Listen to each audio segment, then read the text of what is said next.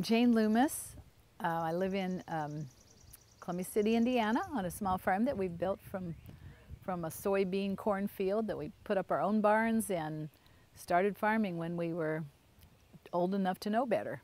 And um, we decided to work with a SARE grant on sweet sorghum syrup. It was something we were interested in growing and we partnered with three or four other farms and uh, tried to determine whether it's a sustainable product that you can do on small farms, you know, with small amount of labor and not much equipment. Sorghum is a grain, but it is also, it grows in a cane. Like sugar, it looks a lot like corn, but with a seed head on top instead of a tassel.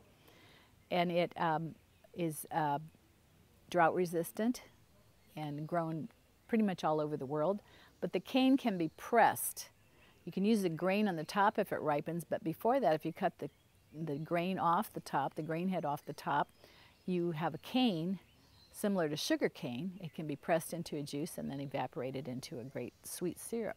We actually take it to an Amish farmer who has a steam press and a steam driven press and evaporator and we uh, grow the cane, we harvest it, haul it to Middlebury, Indiana, which is northern Indiana, about an hour from here, in trailers, and he presses it for us and bottles it. So it's all done um, in a short time. Sorghum has a wonderful flavor. It has lots of minerals and vitamins in it, and it is um, much more sustainable. It um, presses out like seven gallons of juice, makes a gallon of of the syrup. And that compares to say maple syrup, which is about 40 to 1. So it's a, it's a lot easier from that standpoint.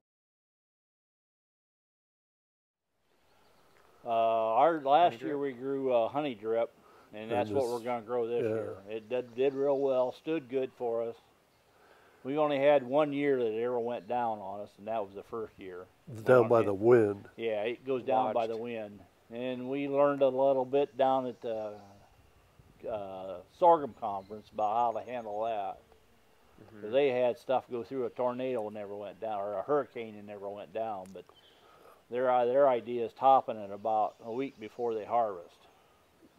So, so that's, when, that's when the head gets real heavy and it wants to fall over. Mm-hmm. And if they get that topped, then they'll stand for two or three weeks without no. They could have. They said they had a hurricane go through and never blew anything down. Yeah. So good. It's a good crop for small acreage use, and it's e it's easy to handle. And the more we do it, that is true. We're better. Yeah. You know, you start to realize, oh yeah, this helps with the blowdown. This helps with the, and we'll plant the same kind now as Uri, Uri Miller, where we process it.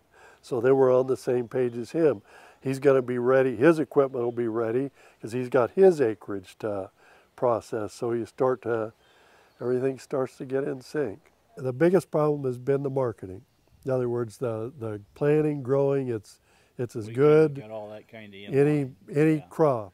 Uh, my role with the project has been um, working uh, with the farmers who are um, private family farming on, on some of the educational aspects of um, sharing um, the news about sorghum kind of in the community and hosting an event at Merry Lea that the public can come to and showcase the product and the process. We are marketing it to small businesses in the area, places that make caramel corn popcorn, butcher shops. Um, we're working on developing a barbecue sauce based on that. We use it um, in granola and breads that we sell at the farmer's market. Um, and then of course we, a lot of people buy it because that's how they make molasses cookies. They use it on pancakes.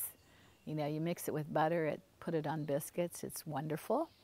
So it, it's really kind of, we're trying to re-educate the public on a, you know, a product that has been used since the 1800s, but has sort of fallen out of favor because sugar, white sugar is so cheap.